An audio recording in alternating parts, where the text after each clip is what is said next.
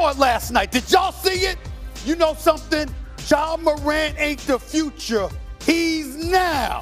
This brother is on another level. And guess what? That leaves me in a quandary. Well, who the damn MVP? Is it Embiid? Uh, is it Ja?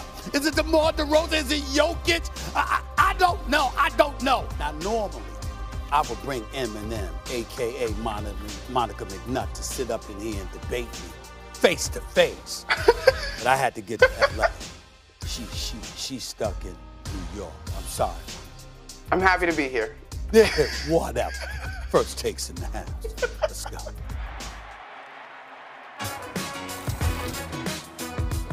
Good day. What's going on, everybody? Welcome into First Take. Monica McNutt. Always good to see my girl. Have you with us? Are you happy? I'm good. Are you happy I'm now? Good. I'm good. I mean, I, I, That's my main concern. well, I'm, I'm happy. I Okay. still have not recovered from missing the Super Bowl. Okay. Not being here for the Super Bowl. I still have, mm-hmm. it's going to take me years to recover Okay. from that one. But I am here, and you don't get to tease me about you being here, and I'm not. So I'm happy about that. Fair enough. Yeah. Here's what I'm going to do. We're having internet struggles, so I'm going to give you my laptop All right, in case okay. you need that. All right, That's thank all set for much. you. And Thank I'm going to get to Ja because he's the real show.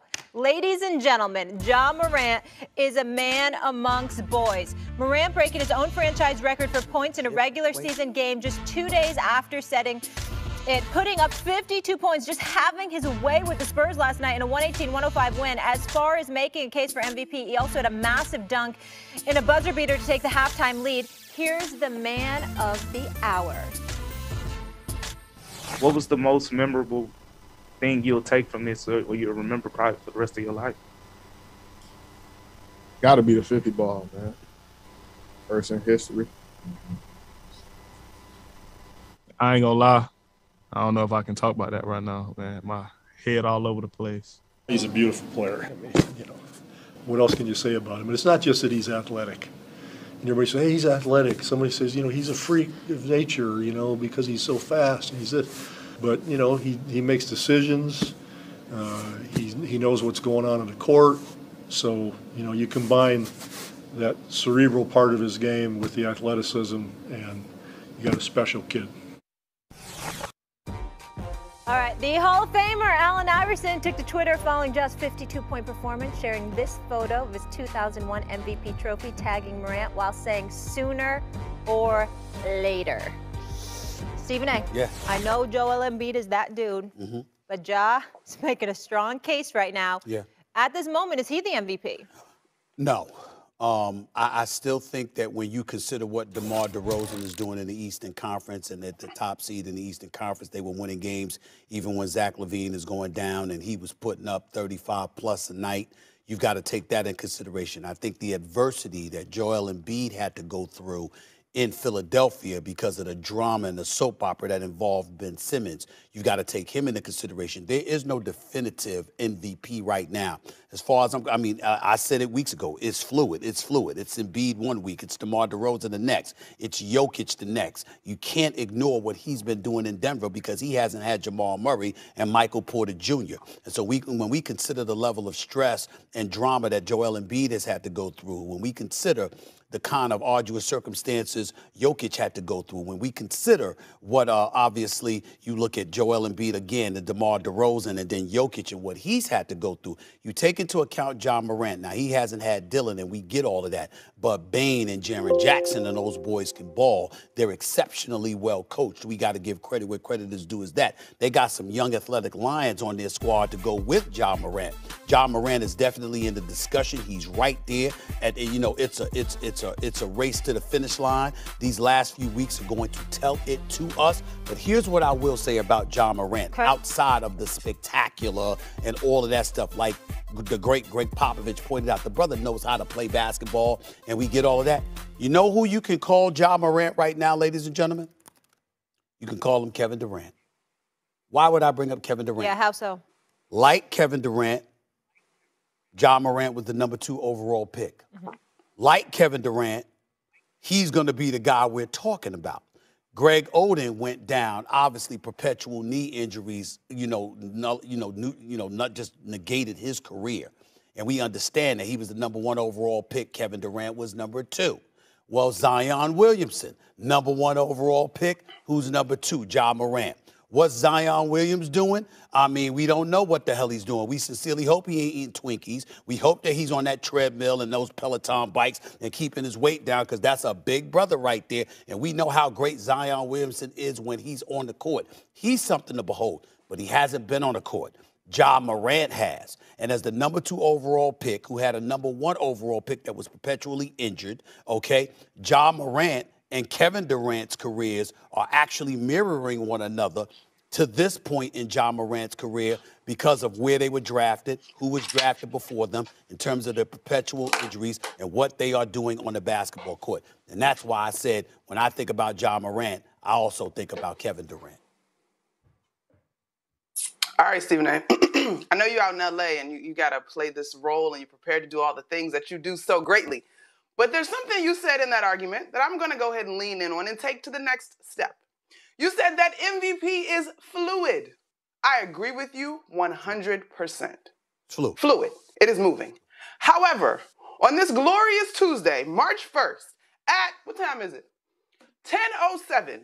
The mm-hmm. MVP in the league for me right now at this moment in this fluid conversation would be one Ja Morant. And I think all of mm-hmm. the names that you rattled off are incredible, and it is absolutely going to be a race to the finish. Photo finish. Who can lean their head forward and their nose touch that ribbon first? But right now, I really think you have to give it to Ja Morant because last night I was looking forward to the Bulls versus the Miami Heat. And I was disappointed because the Chicago Bulls that was sitting atop the standings did not necessarily show up. Credit the Miami Heat. And so as I'm watching those two guys, right now, the nod goes to Ja Morant. And then you talk about Joel Embiid, who has been tremendous. But honestly, Stephen A., I think that there is credence for the idea that James Harden's addition to the Philadelphia 76ers will weaken the argument that Joel Embiid has that. for MVP. And so to me, right now in this fluid conversation, you have to give the nod to Ja. I agree with you about those young Lions and that squad. That front office has done a tremendous job. Um, they have been, been coached very well. But when I look at that roster, outside of Steven Adams, there's not a ton of experience, Uh-huh. which Okay. to me only adds to Ja's case as a leader and an MVP candidate. Right now, But at that's this a de- moment. the- But that's a decent argument, Monica. I'm not going to ignore and thank you. throw shade on your argument entirely. What I would remind you of, I mean, you have been on the show numerous, numerous times, okay? Numerous Uh-huh. times. Doing the great job that you've been doing. I haven't heard you talk about Ja Morant. I ain't seen you bring him up. You know what I'm saying? I'm not going to hold that against You was- you, though. because but I- you was I, I out. didn't, I You didn't hear out. you bring him up. I didn't hear you bring him up. I know I brought him up, but here's the deal. He's Stephen got 46. He's got 52, okay? When we're seeing about, don't get me wrong, we, he sprinkled in a few 30 point games here and there, okay? He had 23, 26, had 44 point game, then had a 20 point game, whatever. When we talked about Joel Embiid and what he was bringing to the table, those were monster numbers that he was bringing. When we talked about DeMar. DeRozan and what he did over a nine game stretch, and with Chicago being in the lead, and with the Eastern Conference being more significant than they've been in recent memory, we can't ignore that either, particularly with Zach LaVine going down. So I'm not taking anything away from Ja Morant. He might end up winning this. Certainly from a box office attraction, you can put him up there as number one, even ahead of Embiid. Jokic and DeMar DeRozan. Ja Morant is box office. That is something that we got to pay attention to because as a voter, that does play a role. When you're putting up similar numbers, Yes, voter. when you show up in crunch time, when you're winning basketball games, and all of these different things. All of those things are worthy of being pointed to. We can't negate them.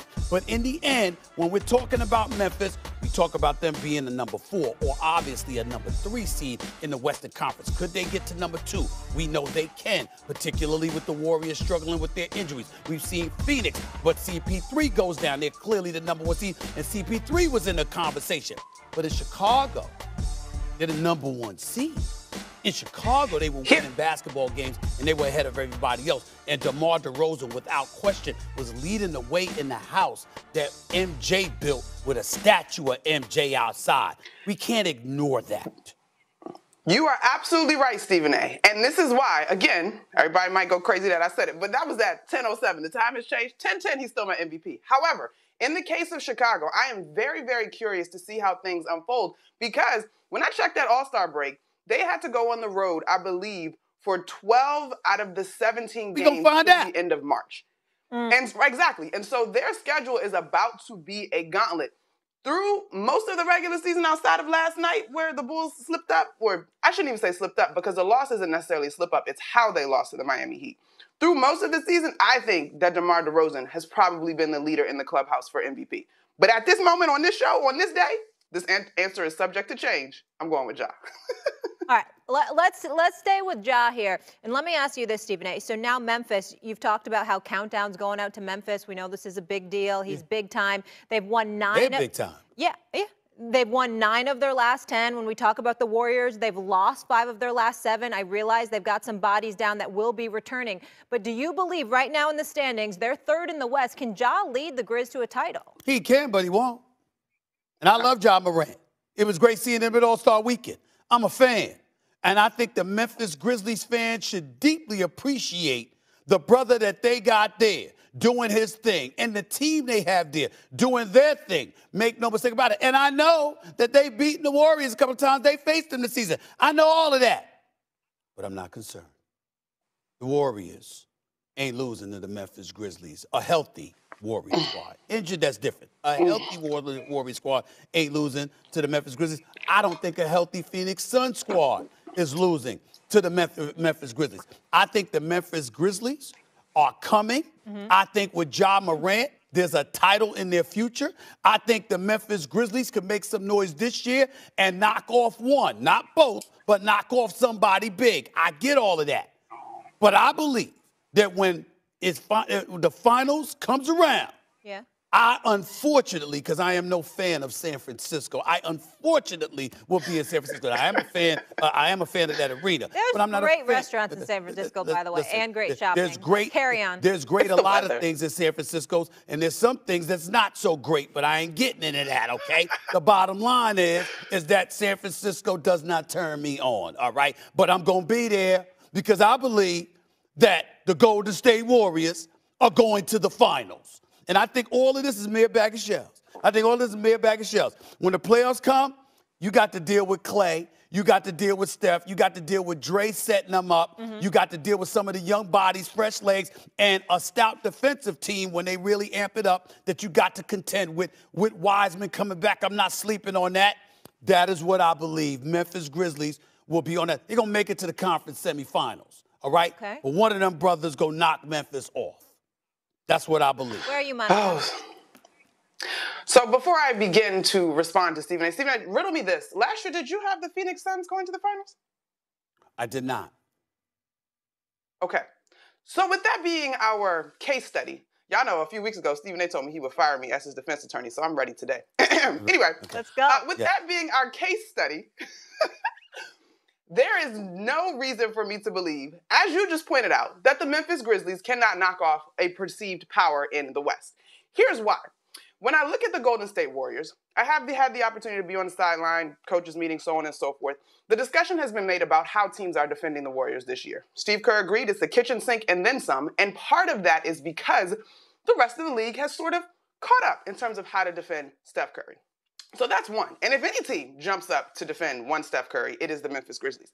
Two, Draymond Green, as the catalyst of this squad, as my colleague Jorge Sedano pointed out last night on Around the Horn, is dealing with a back injury. I don't know about you, Stephen A., but as my experience in back injuries personally and with friends and family, back injuries are one wrong bump from being back to square zero in terms of your recovery. And I think boxing out is a big part of the game of basketball, and so I'm not ready to bank on Draymond Green being able to return at force at full strength and be sustainable throughout a playoff run.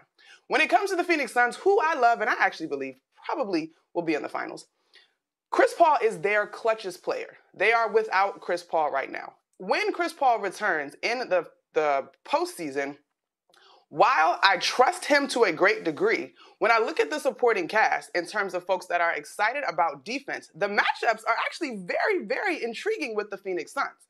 And beyond all of those X's and O's, just like the Phoenix Suns were playing with house money last year, the Memphis Grizzlies have the privilege of arriving early, which to me allows them to shed any pressure and they just get to go out and play basketball with the swag of one Ja Morant. And Fair so, enough. So are you picking why not? the Memphis Grizzlies to the finals. I, I understand you giving you're giving rationale and reasons as to why they could make the finals. I agree with all of that, but are you picking them? Sure, let's do it. Let's go. Oh, let's. Oh, so you just you just decided at this moment that I put you on the spot. Oh, let, us do it. Let's do it. But that's not where you were. Listen. So let, let's discuss why you were not there. Because you understand that as talented as they are, okay, inexperience does come into play, particularly as It's games true. get tighter and more is on the line. We believe in Ja Morant. We believe his brother's going to be a league MVP, if not this year, very shortly in the very near future. We get all that. We understand it, okay? But at the end of the day, we understand that playoff basketball is a different beast, okay? You play better defense. You get back on defense a lot more. You give up less fast break opportunities, okay? Cohesiveness matters. And instead of going uh, at you one particular night, you get the game plan for a best four out of seven series. All of those things come into play. And that's when experience, experience has proven time and time and time again to usurp and dwarf young talent. And when I look at the Memphis Grizzlies, I think they're coming. I don't I wouldn't be shocked if they made it to the conference finals, but I don't have them going to the finals. I tell you that right now. I got the Golden State Warriors going to the finals. All right. And for those that are asking me, what's my problem with San Francisco? Look, man, I prefer Southern California, okay, rather than Northern California. San Francisco reminds me too much of New York. And every time I'm in San Francisco outside of the hills, I, it ends up making me say to myself, why the hell did I fly this far just to be in New York? Okay, I might as well have stayed in New York rather than fly across the country to experience the same things with more hills. That's why I, I, I'm down on San Francisco. Just so we understand, I don't want people getting it twisted and trying to make stuff up. That is my issue with the city and their taxes. You really just talked about the hills. Taxes. In San Francisco, you really just talked about the I mean, hills. and That, you, want, you want to take you want to The take. hills are listen, beautiful. I love? I love the movie The Rock. It's one of my favorite movies with Nicolas Cage and, and the great like Sean Han- uh, Sean Connery. No, make no mistake about it. Yeah. But I mean, I, and I love the trailer. You know the you know the little trolleys and stuff like that. It's really really nice. But if I'm walking, I don't feel like walking up and down those damn hills. Oh, Okay, I don't. You're a- I don't. you're a different I don't. cat. I know. I just don't feel like You're doing. it. different I just don't feel like doing it. It's That's good. all. It's good for the glutes That's it, that's To, to get a little I incline. understand. I All right, understand. help, I help. understand. Well, you go do that. You go do that. that y'all, you, you do, Monica. You It go is do great that. for the glutes. I, am I'm not down with it. I, I'm, I'm Monica, a Southern California Monica, brother This guy's something instead of. Northern California. Okay. I, Yes, he is. Let's hear- All right. I'm just saying. Oh my goodness. Let's go. Let's go. Let's go. All right. Wait, you guys are done? I'm done. I'm Okay. done. I've said it. Monica agrees with me. She don't want to admit it to the world, but she agrees with me. All right. We'll leave it there. Listen, Monica I disagree. The only point that we disagree on is I got Phoenix surviving. But I listen, none of us would be surprised if Memphis does it. She got Phoenix. I got Golden State. Okay. All right. Yeah. Fair CP3, sir. We're- We're aware you have Golden State. Don't worry. That's right. Just no hills. Okay, I got it. Only flat. No hills. Only flat. Treadmill at 1.0 incline. All right, let's get to baseball. Monica will be back in just a bit. So after 16 hours of meetings that wrapped around 2:30 a.m., Major League Baseball and the MLB Players Association moved the deadline for a new collective bargaining agreement that would save regular season games from being canceled to 5 p.m. today. Meanwhile, Bryce Harper had some time to kill. Look at this tweet, Stephen A. We'll pull that up for you. Uh, I don't know whether we should be laughing or crying at this point. MLB insider Jeff Passan is here with the latest. Jeff, I understand that we made some progress yesterday. Good to see you, sir. I know you're traveling. Thank you for squeezing us in. Tell me this should we be encouraged? I think we should be about as encouraged, Molly, as Stephen A is when he's walking up a hill, which is to say, yeah, like a little bit. I'm out here doing this, I'm making some progress, but it's not necessarily something I like. That that's where the players are right now. Look, there was such a big gap between Major League Baseball and the Players Association going into yesterday that the, the idea that a deal could get done in one day was going to take a monumental leap from the league. That monumental leap did not happen. And with a 5 p.m. deadline today, I'm not sure that there's anything that's going to cajole the league at this point into making that monumental leap. And if it gets to that point, it's going to be awfully interesting to see what the resolve of the players actually is.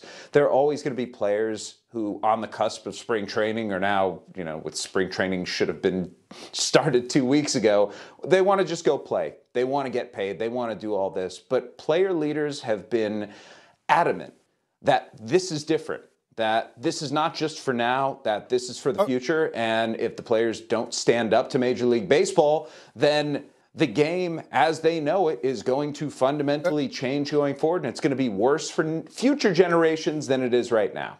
Jeff, I got a couple of questions for you, man, because obviously, you, you know, you're a guru covering the sport, man, and you, you get right to the point, okay?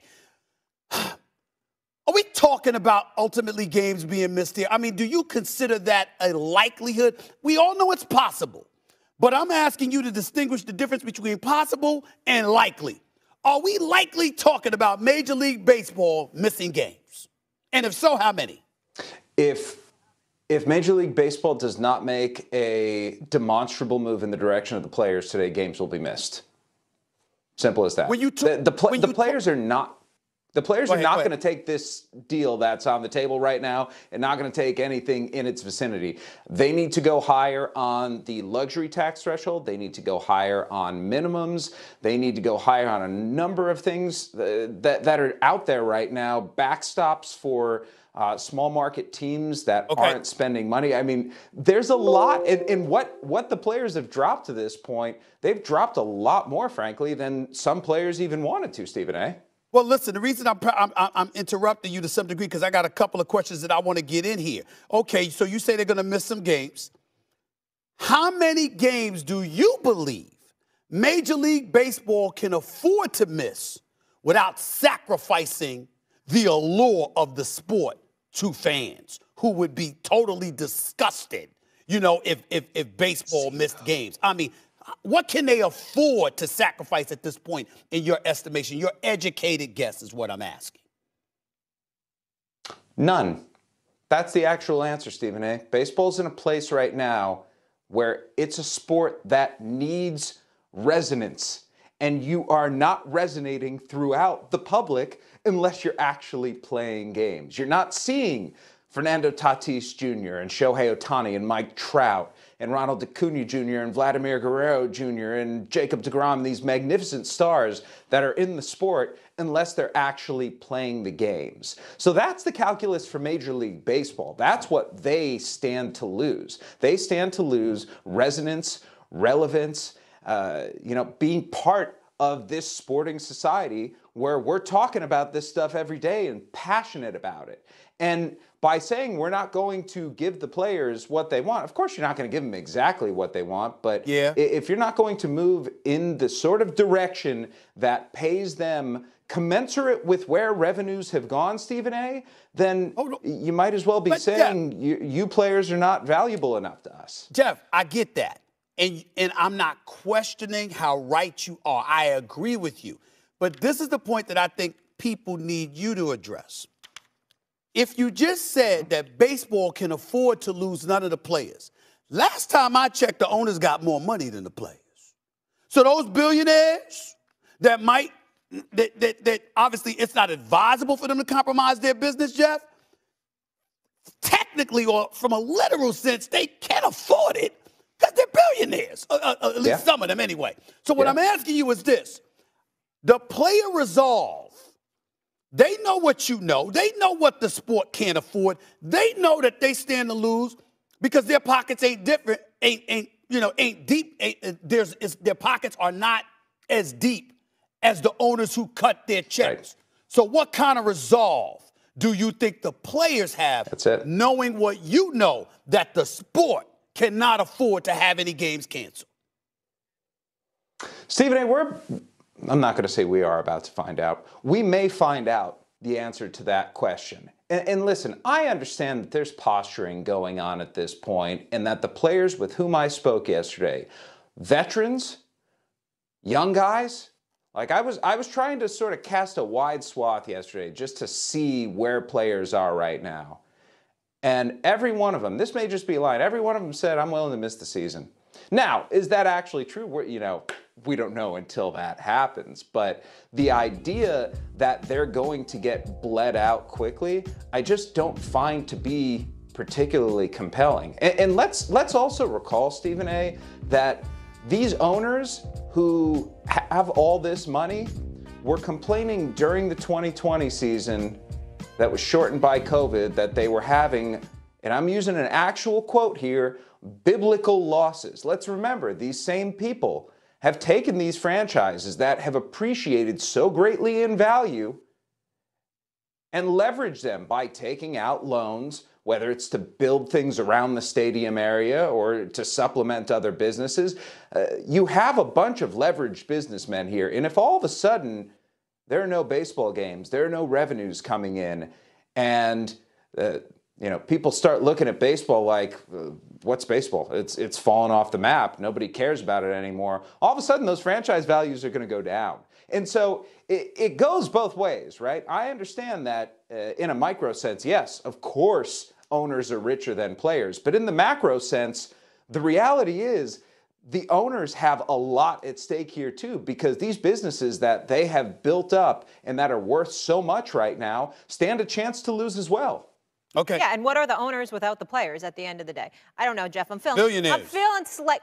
But okay. You know what I mean. I know that. I'm just saying. Sports, that's how, Stephen A. I'm just saying how they are. I'm, I'm talking about how they I know, are. You I understand? They're like, yeah, this is who we are. Yeah. We got our money. Okay. Can, Okay. Can we talk about your guy El Capitan? El Jeff, you were also all over the story yesterday, and it was interesting that it broke the same day as that self-imposed deadline. So Jeter released the following statement today. I'm announcing that the Miami Marlins and I are officially ending our relationship. I will no longer serve as CEO nor as a shareholder in this club. The vision for the future of this franchise is different than the one I signed up to lead. Now is the right time for me to step aside as a new season begins.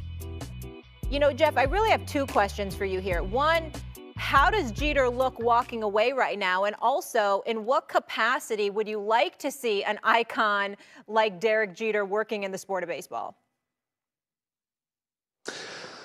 Oh boy. I mean, uh, the timing of it wasn't great, right? Uh, you see somebody who, I, I'm not going to say Derek Jeter is the most popular baseball player still after, you know, five, seven years after his retirement. Um, Derek Jeter might actually be the most popular baseball player still. And to see him walk away, on, uh, to see him walk away under those circumstances, uh, it's a it's a bad look the team. It's bad look for the sport, and you're always going to have people spinning behind the scenes as to what the reason behind the departure was. And uh, there have been questions: was it a uh, "Hey, we don't fit anymore," or a "Hey, you don't fit anymore"? And uh, getting that story is probably not going to come out anytime soon. But uh, Derek Jeter needs to be involved with baseball in some capacity.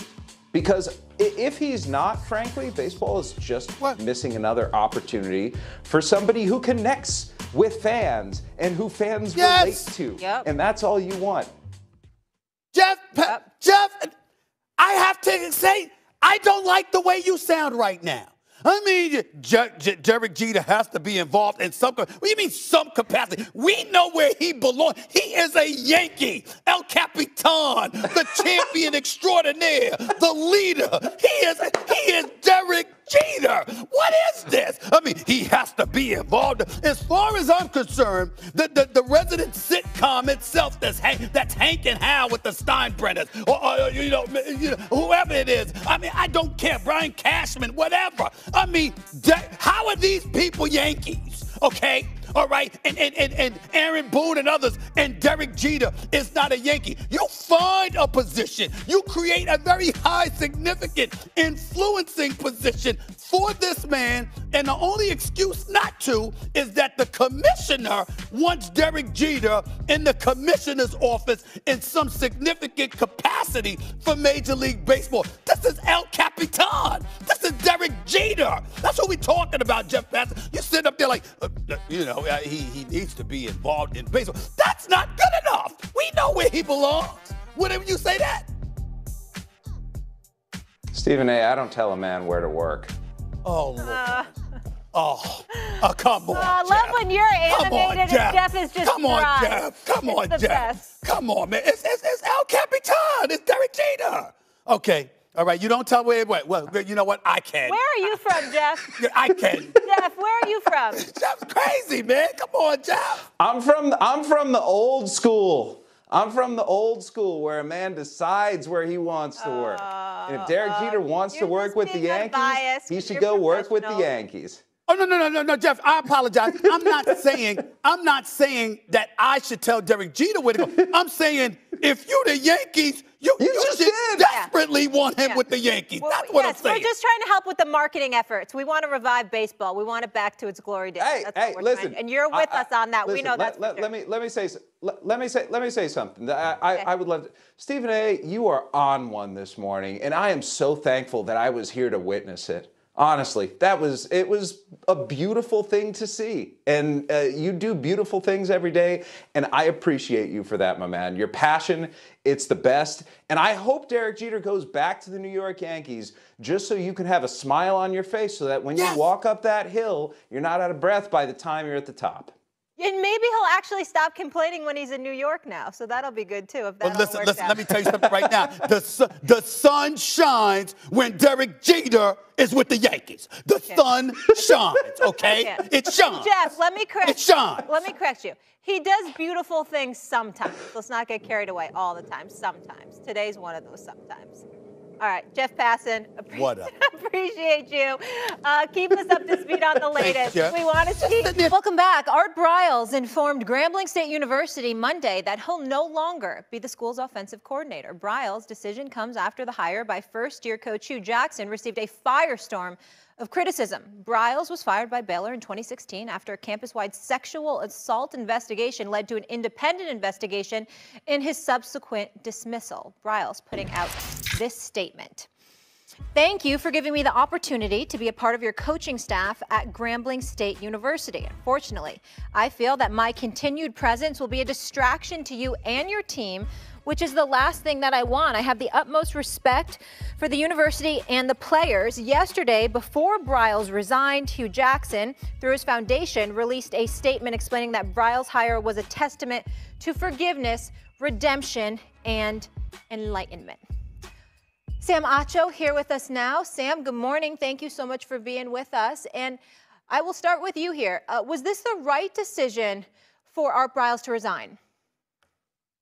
It absolutely was the right decision. And more than that, it was the only decision. Uh, if you go back and look at just the history and the culture that Art Briles pretty much helped foster, along with Ian McCaw, the athletic director at Baylor, uh, it was a culture uh, uh, of sexual violence against women, if we're just going to call a spade a spade. And so after that, even though there was success on the football field, you cannot hire a coach who helped foster or didn't do anything about that kind of culture. I mean, just go down the list of, of, of, of accusations uh, of rape, of sexual assault. I mean, like, I, it was it was disgusting for me to read.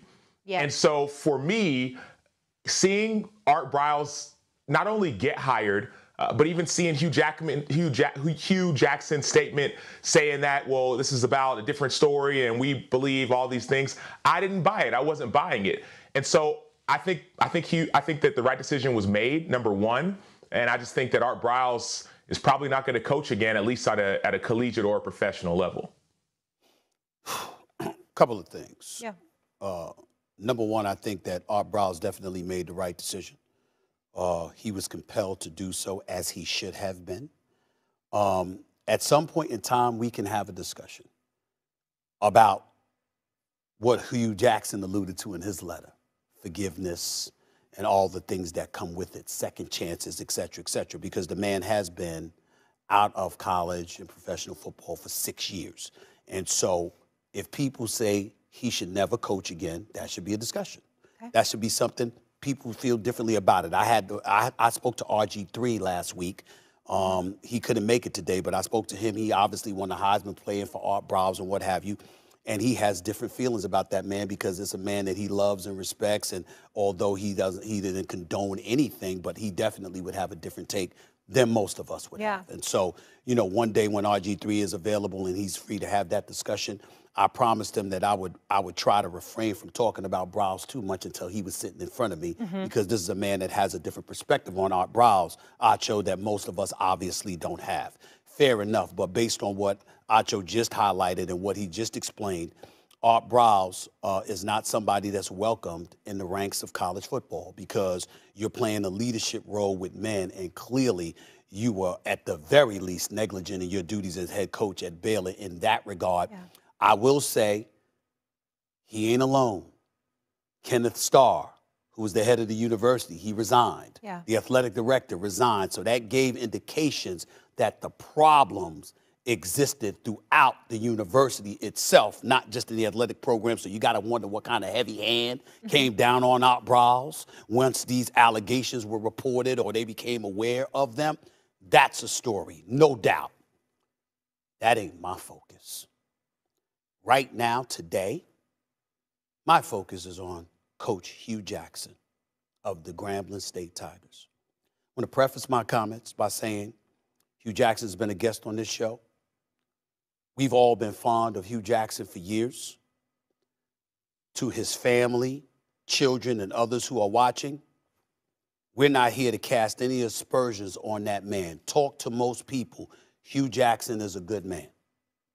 That's not what this conversation is about. This ain't to character assassinate him, to excoriate him as a man, as a human being, or as a person. Mm-hmm. This is about the, the choice that he made involving the specific hiring of Art Briles. It was an egregious decision. And it's something that has made Hue Jackson look very, very bad for years to come. Because think about what has transpired. You are Hue Jackson, and I want y'all to put Acho up on the screen because I want to look at Acho while I'm talking to him right now. Acho, Hue Jackson was on national television two weeks earlier decrying the state of affairs involving minority hires in the National Football League. This is while he was the coach Yeah. at Grambling. Now, it'd be one thing if you were in Cleveland and you know, and you were talking about it. No, once Brian Flores put forth his civil action lawsuit against the Giants, the Denver Broncos, the Miami Dolphins, and the National Football League, Hue Jackson, who was supposed to be minding his business down in, in, in Louisiana at Grambling State, decided to come front and center and speak about that issue along with the fact that minorities weren't being hired. It was Phil, it was Hue Jackson that once spoke to the Fritz Pollard Alliance, and he talked about issues that minorities had getting jobs. It was Hue Jackson that, according to my sources, was in tears while addressing people on the diversity committee like Kim Pegula and others because of how minorities were being treated in terms of opportunities denied to them while he was coaching in the NFL and looking to get an opportunity. And that Hue Jackson ends up at an historically black college and university and decides to hire an Art Briles with that track record to be a leader of young black men. Do you have any idea how bad that looks? The answer would be no. Hue Jackson didn't have an idea. He was defiant. He was very resolute in his thoughts. Um, I was told, if you know anything about Hue, understand, Hue was very popular for saying, particularly when he was the head coach in Cleveland, when you're the head coach, you can do what you want. Hue is very popular of, of- and known for being a contrarian, and he fights for the underdog. Art Briles, nobody wanted him. Well, once upon a time, Hue Jackson felt like nobody wanted him. And so he can relate. And that would be enough for him to say, to hell with everybody, I'm going to do what I want to do because I'm used to adversity. Okay?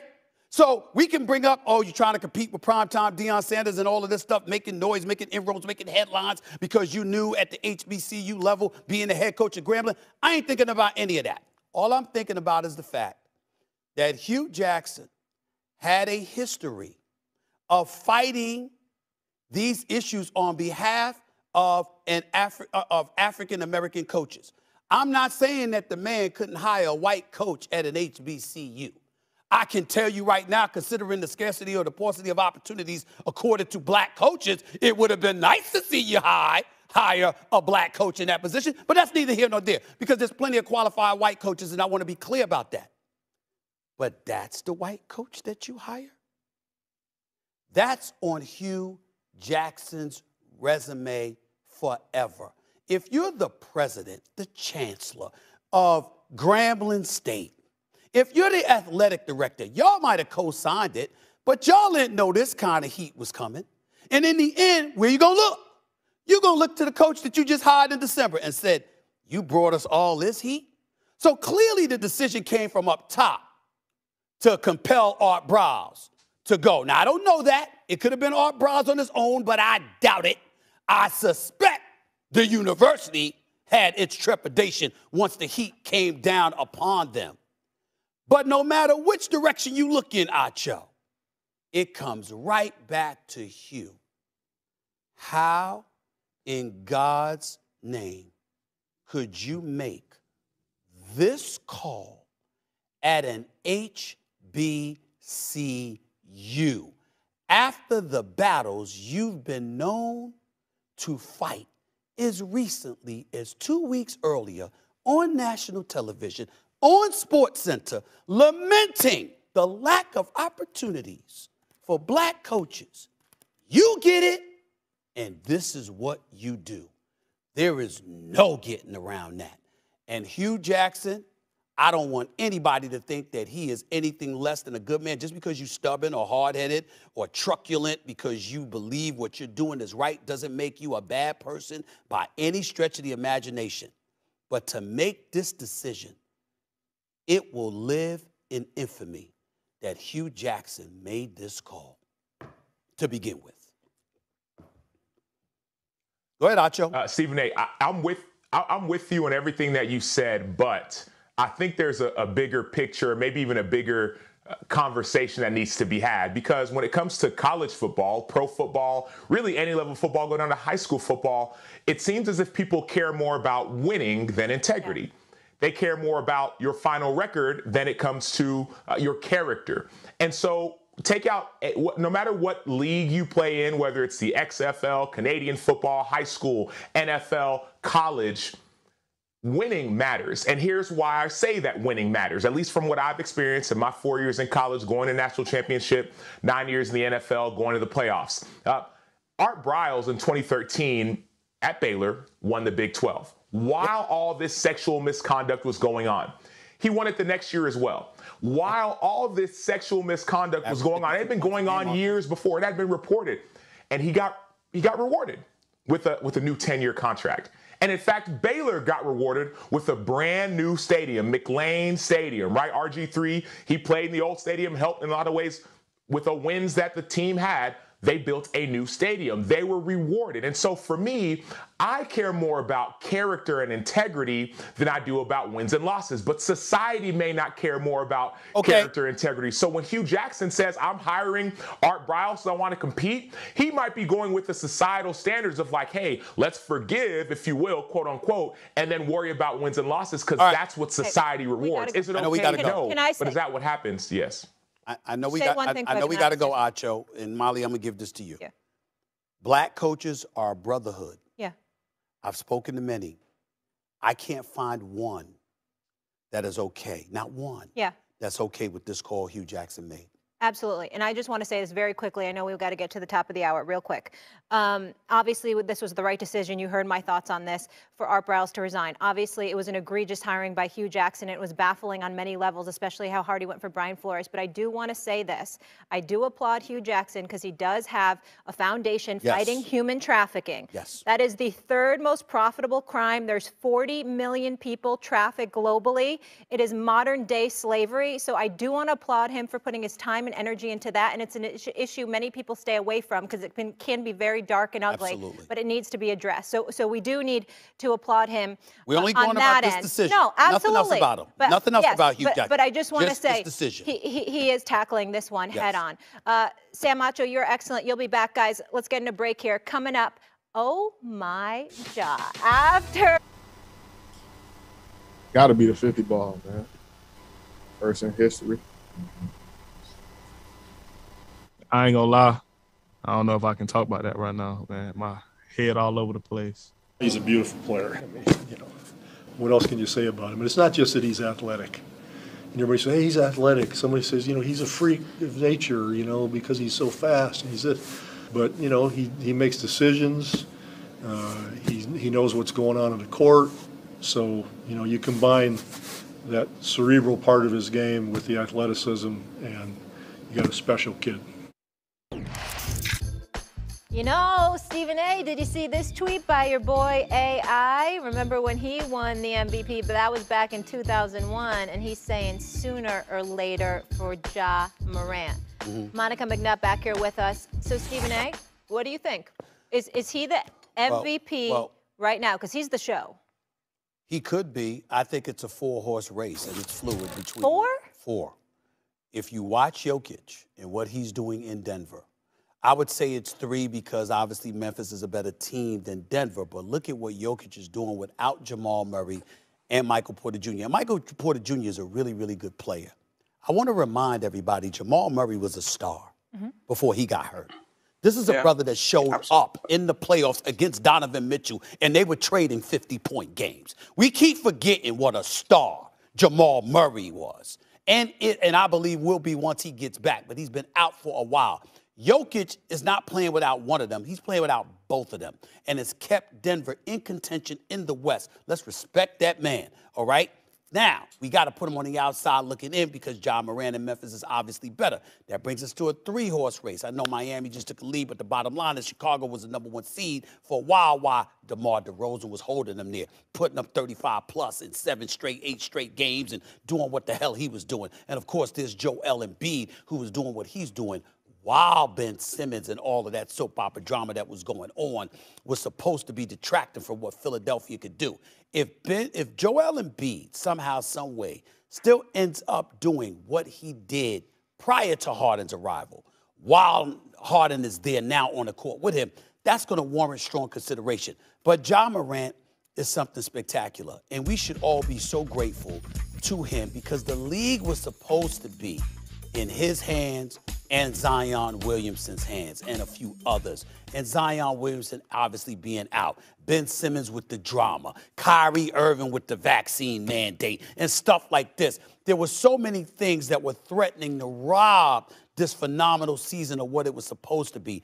And Ja Morant, particularly last night, reminded us, excuse me, season ain't over yet. It's actually just beginning. Steph Curry put on the show. Kevin Durant was putting on the show. Klay Thompson returned. It's Chris Paul and Devin Booker and those boys doing their thing. And you know, and you saw LaMelo and Bridges and them in Charlotte, DeRozan and LaVine in Chicago, and Bede in Philadelphia.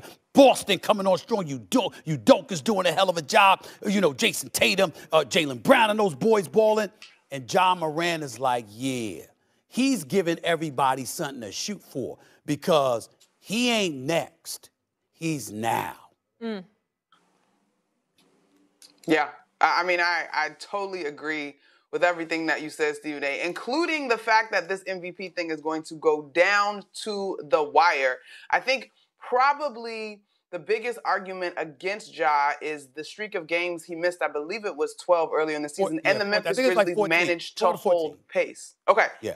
Um, but I think over that stretch, the Memphis Grizzlies held pace and they did not lose. And I think that speaks to the talent on that roster and the tremendous coaching job that Taylor Jenkins is doing, who sure, certainly should be in the conversation for Coach of the Year.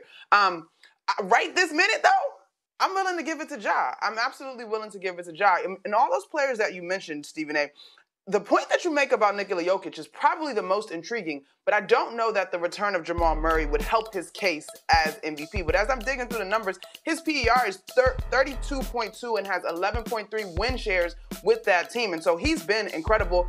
Where they fall in the standings obviously hurts his case. But when it comes to Ja, I just look at the numbers, the consistency, the energy, the box office quality, and whether we want to admit it or not, the box office nature of a guy does tend to lean into this conversation. Damn right. And I'm a voter. I'm telling you it does. Right.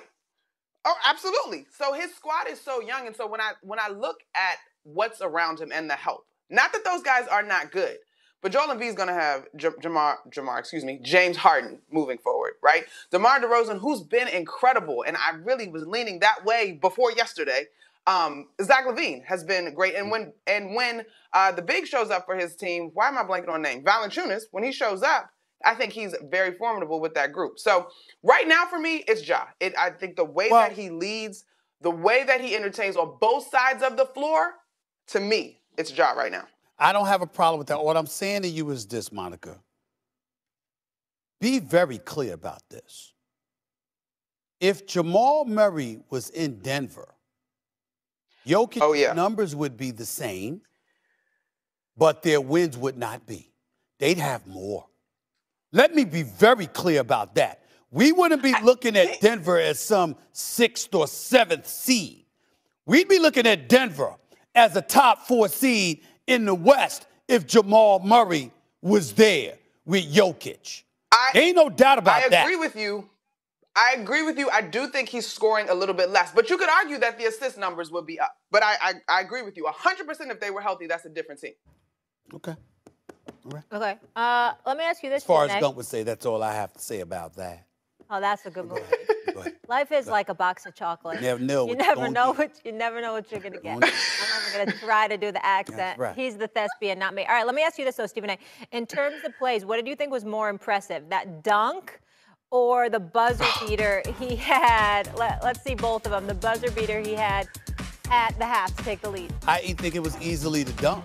To me, the real play, even though that was a damn good play, Yeah. the real play was the pass. I mean, that was an Yeah. incredible, that was an incredible Yeah. pass. That dunk, that, now that's different. Yeah. That's different. That's different level right there, okay? And look where he took off from. Oh, Mm-hmm. see, see, uh, you, you, let, let- let- let- let me, let me stop this. Let me stop this, Okay. okay? You're talking to a brother that covered Allen Iverson Yeah. for the first 10 years of his career.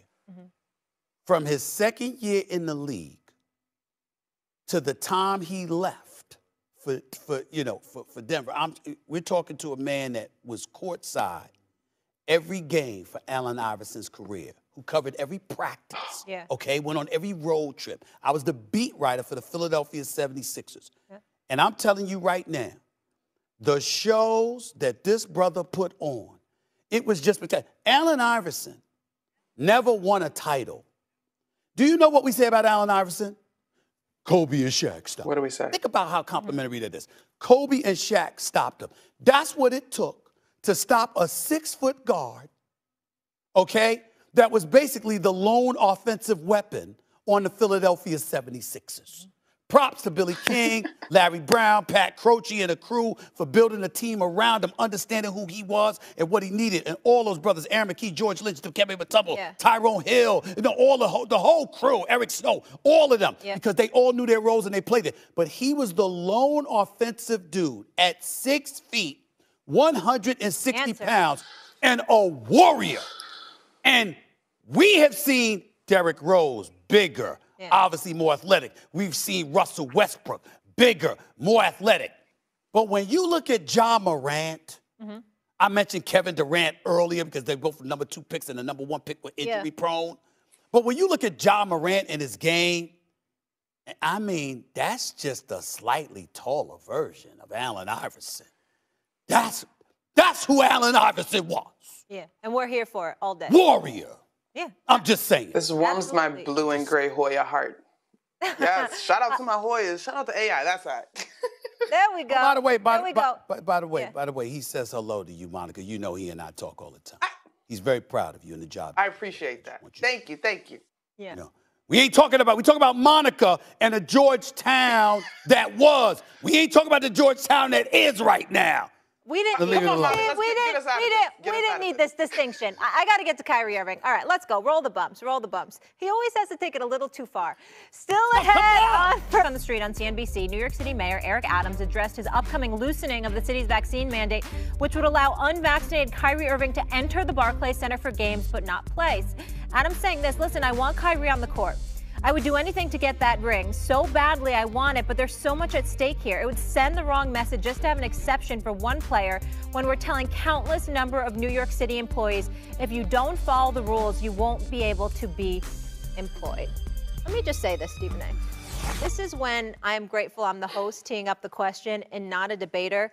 This is a difficult one. It's not. It's so difficult. Allow me to okay, tell me why it's not. Allow me to explain. Um, Mayor Adams, first of all, if anybody hasn't seen SNL spoof Mayor Eric Adams, you need Chris Redd. It's spectacular. I've It's seen the them- them it's the- spoof you. Yeah, yeah, and they were good with me, and especially Michael Irvin. Keenan Thompson was hilarious with Michael Irvin. That was a mala mala mala. mala. I mean, that was hilarious. Okay, Kenan Thompson was spectacular. But this kid, Chris Redd, doing Eric Adams, It's it's the funniest stuff that I've seen all year. They're geniuses on that. Having said all of that, Mayor Eric Adams, who I like, I'm not casting any aspersions with you with what I'm saying. Please don't take it. And you're welcome to come on the show anytime. I'm happy to have you on First Take, sir, to discuss this issue. Nobody's asking you to make an exception for Kyrie Irving. We're asking you to eradicate the rule because it's a stupid rule. That's why. There's no debating this. You are a visitor, so you are allowed to come to the Barclays Center and play. But if you happen to play at the Barclays Center as your home court, you can't play. So if Kyrie Irving had gotten traded to the Philadelphia 76ers, okay, instead of James Harden, Kyrie Irving could play at the Barclays Center. But Kyrie Irving, the member of the Brooklyn Nets, can't play at the Barclays Center. I don't get that. Kyrie doesn't get that. Commissioner Adam Silver doesn't get that, along with a host of other people. It's a stupid rule. Plain and simple. And when you talk about people, you talk about medical workers and law enforcement officials and stuff like that. They're city employees. I still don't like the rule. I still don't. But when you talk about indoor restaurants, indoor facilities, and a laxing of the rules, then it should be laxed for an indoor facility like the Barclays Center, especially when the rule is not applicable to visitors inside the Barclays Center. It makes no sense. I can't believe that I have to sit up here and defend Kyrie Irving, but he deserves to be defended. Kyrie Irving, me and, and his decision making, always finding an excuse to be off of work in his career. I stand by that. I haven't changed that position. But that has nothing to do with this. With this situation, Kyrie Irving is a victim. Kyrie Irving is being screwed over because of a rule that is not applicable to his contemporaries from different cities who happen to come visit the Barclays Center. That is why, Eric Adams, we are asking you to change the rule. We're not asking you to change the rule for Kyrie Irving. We're asking you to change a rule that evidently isn't applicable to other people visiting the Barclays Center. You either all in or you all out. If the rule is in place, the rule should be applicable to visitors coming to that place, not just for people who reside in that place. It makes no sense. Monica, Monica, can I ask you a question? I, I get that the rules Yes, are ma'am. double standard, but at the same time, do you get where Mayor Eric Adams is coming from, where this could send the wrong message? Even if the rule is bogus, it looks like, hey, we're making an exception for this multimillionaire athlete and how that would look to the rest of New Yorkers who have been sacrificing. Yes, Molly. I understand Mayor Adams pointing out an exception, but I do agree with Stephen A. in that it's not necessarily an exception that's being asked for. The qualm is that the rules should be done. Now, I I was struck by this idea of public versus private sector, and quite honestly, it was a bit confusing for me. As I understand it, it maintains that Kyrie is an employee, and so the mandate still applies to employees of businesses here in New York. Um, but to me, on a very base level, at this point, if he's allowed to be in the gym, he should be allowed to play in the gym. And when we talk about fitness gyms for the average person, if there's no longer a vaccine check at the door and so on and so forth, and businesses are being allowed to proceed, now we're getting into what are we doing? And I will admit, Molly, that initially I was able to make the argument or had the capacity to understand the idea of folks that exist in New York on a daily basis, whether they are residents or people that work here nine to five, five days a week. The idea that if we can get people that live here to abide by the rule, we can protect ourselves and tourism be, be what it may. But now, if Kyrie's allowed to be present, I don't understand why he's not allowed to play, particularly because the NBA is still testing, as I understand. Well, again, that's your position, and I respect it. My position, as far as I'm concerned, is far more profound. You're allowing visitors to come into. Listen, you think about it this way, y'all. if I live in New York City, right, Yeah. and Eminem and Molly Q Yeah. and Stephen A. decide to go out to dinner, right? Yeah. Okay. Well, what according to New York, if you reside in that place in New York City, you can't come to the restaurant with us because you ain't vaccinated. But if you a visitor, you can join us. Now, how stupid is that?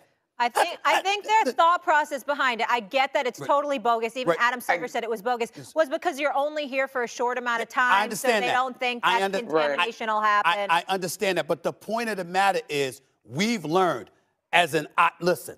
I came down with ain't nobody, nobody gonna tell me anything. You don't need multiple bites at the apple to get COVID, okay? Yeah. All it takes is one shot. Okay, this is why people insist on masks while we're on the airplanes, Yeah. for example, because you know you want to do whatever you can to protect. Because you know all it takes is that trip on a plane for mm-hmm. you to get contaminated. I don't want to hear, well, it's a visitor as opposed to somebody at home. So it's the difference. The fact of the matter is, get rid of the rule. At this point, it's utterly stupid, particularly when the mandate has been laxed to some degree in the public sector, at the very least. The bottom line is, you got Kyrie Irving, Yeah. who deserves to be playing at the Barclays Center because you're willing to allow visitors to play at the Barclays Center, even if they're unvaccinated. That is the principled position, and Kyrie Irving is being screwed over on this. I'm with you. I think it's Mm-hmm. so bogus. Don't get me wrong, but at the same time, I can sympathize and empathize with Mayor Eric Adams because he's just scared Well, I'm of not things blaming him. falling Trying on his hold shoulder. I'm not blaming God, him. God, God He wants to forbid- hold the line. Yeah. It's I- not just that. It's I- not in his case fault. numbers ever rose again. That I understand where In he's fairness scared. to him, he didn't he didn't invoke the mandate. Yeah. That was his predecessor, okay? Uh, who I don't even want to talk. I don't even talk about him for various different reasons, okay? But Eric Adams, we'll see what he does. I got faith in the brother. I'm not excoriating him. I'm just simply saying, now that we are here, we're here. Stop with this nonsense. Get rid of this nonsensical stuff. Get Kyrie back in the Barclays Center so the citizens of Brooklyn can finally get to see what they deserve Yeah. to see instead of visit instead of visitors coming into the Barclays Center. That's the bottom line. Yeah. At the end of the day, I think we're going to see him play. For I'm sure we should. I, and I, I yeah. I do. It's bogus. Do Get too. rid of it. Monica, you are dismissed, my dear. Excellent job as always. Thank you so much. Have Sorry a about wonderful rest of the day. Sorry about Georgetown. Thanks, Stephen A. Y'all enjoy LA. Foul. All right, coming up, friend of the show. To either the New York Football Giants, let's go Big Blue, don't screw this up, or the Jets, with both teams looking to shore up the defensive side of the ball. Don't laugh, you don't have a quarterback either, Stephen A. Mm-hmm. With that being said, we bring in my guy Mel Kiper Jr. Yeah, yeah, yeah. Mel? Yeah, yeah, yeah. Mel, so good to see you. I'm going to save all the pleasantries because we have questions and Yeah. we need answers. Uh -huh. First, let's start with this. Is there a superstar quarterback in this draft that could change the fortunes of a franchise? Right now, you would say no. Now, could there be? Sure. Derek Carr is a pretty good quarterback, right? He was a second round pick. I compare Kenny Pickett to Derek Carr. So if you think Derek Carr is a really good hmm. quarterback, which he is, super, we may look back on this draft and say, hey, this draft that everybody wasn't excited about the quarterbacks. The quarterbacks turned out to produce one quarterback that was spectacular and was underdrafted, should have been in the top five, maybe should have been number one overall, but it got pushed down to that 11 spot or 20 spot. So right now, I would say no. But I would maybe bet on one of these guys, Molly and Stephen A, turning out to be really, really good. Okay. I have this look on my face, Mel Kiper, because you're not giving me good news. You know, I mean, I care about my Steelers. Ben Roethlisberger has retired, okay? We got this guy from Pitt named Kenny Pickett you just brought up. And you're telling me, I mean, he, he could be the next Derek Carr potentially. 42 touchdowns, seven interceptions, over four, you know, I mean, completed 67% of his passes. Had a good year last year, number three highest draw. I get all that. But I, mean, if this brother ain't gonna fall to the Steelers at number 20, I mean, what hope do I have, Mel Kiper Jr.? Are you here to give me bad news? Is that what you're doing? I, I know what you're, what you're looking for, see. I think 20, Todd had him turning up to get Malik Willis. I'm not going that route. I'm thinking maybe like Mac Jones fell to New England. Maybe Malik Willis falls to Pittsburgh. If they want to move up and get him, you got New Orleans, you got Washington at 11. Could take. I just think Ron Rivera wants a quarterback who can come right in. 24 year old rookie was what Kenny will be. 49 50 career starts under his belt. Played for a great coordinator, quarterback coach in Mark Whipple. Mark's now at Nebraska. I think everything sets up for Pickett to be ready to go, where Malik Willis is going to take a little bit of time. So if you have a quarterback in place, the Steelers have to get that bridge quarterback, Stephen A. If you draft Malik Willis, get a bridge quarterback. And then maybe in year two, year three, turn the reins over to Malik Willis. Now, we say that every year, and I know Suzy Kolber always said they always play. I don't want to talk about sit, watch, and learn. They're going to play. In Malik Willis's case, a year to sit, watch, and learn, like kind of Trey Lance kind of did, like Patrick Mahomes did do, uh, I think would benefit him tremendously. Okay, I should go to Trey Lance because you just tr- transitioned, but I'll let Stephen A do the whole Jimmy G thing. And I want to talk about my Giants. So we made some changes new GM, new coach. I don't want a bridge quarterback, Mel Kiper Jr. I want to win. It's been real bad in New York. Now, we have Daniel Jones, Danny Dimes. John Mara just came out and said they're sticking with him. Do you think this is the right decision?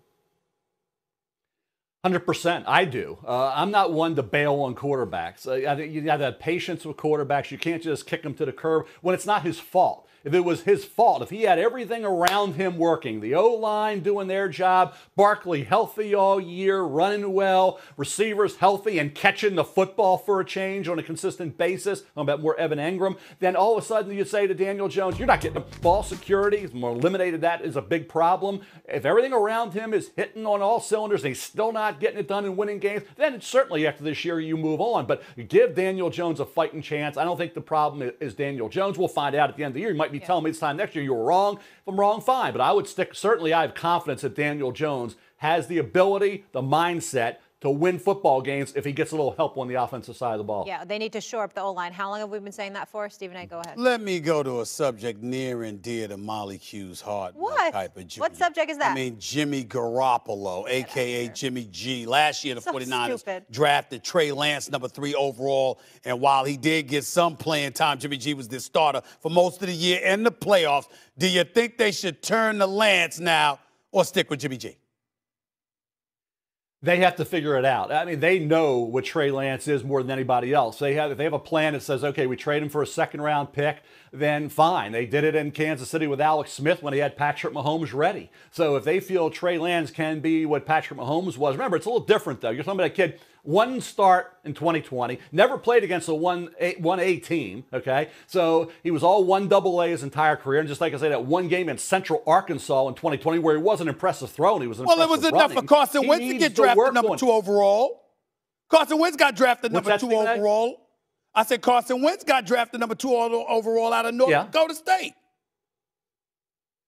Right. What I'm saying is, in this particular case of Trey, Trey needs to work on his passing skills, his accuracy. He, if he did enough, if they feel he's ready, he's evolved enough and improved enough, then you move on. I get that. But Jimmy G had him in a Super Bowl. He almost had him in another one with a thumb injury that was affecting him, yet he played through it. The f- players love this guy. And, uh, you know, if you want to cut ties to Jimmy G and move on with a second round pick, fine. But you got to believe that Trey Lance is ready to go. And if you, because your team's ready to roll, you can't be you have the quarterback holding you back. Jimmy G doesn't hold him back. Now, will Trey Lance be better than Jimmy G? He should be. He, Oh, what about how they feel about Jimmy G, Mel Kiper Jr.? I mean, he was on their squad. He had taken them to a Super Bowl, and they still spent the number three overall pick on Trey Lance. What about what they might feel about Jimmy G and how they feel he's not the one? Well, he'd be a lot better than Jimmy G with the talent you already have assembled. on from Then you make that move. But is he going to be ready? And will he be that guy? We don't know. He was a work in progress. He has to work on accuracy. They know that better than anybody else. Mel. If you believe Trey Lance is ready to roll big time, then you trade Jimmy Garoppolo. If you Mel, don't, let you me- keep Jimmy G. Mel, let me get in here real quick because we got to go. I keep getting wrapped in my ear, but I got two more things I need to ask you. Why am I the only person that still cares about Russell Wilson? I feel like I keep bringing him up. The Giants should bring in Russell Wilson. He might be on the move, and it seems like all our analysts here are down on him and his talent. Do you think Russell Wilson still has it?